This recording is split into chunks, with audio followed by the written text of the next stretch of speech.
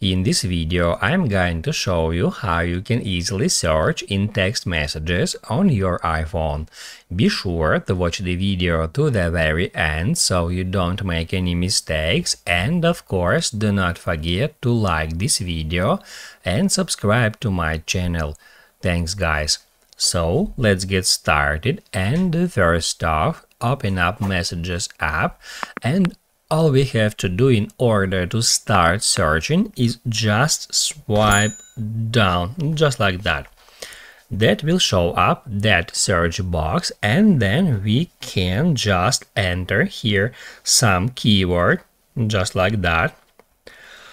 We can search by our recipient's name, by our contact's name, I mean, and by the text in the conversation.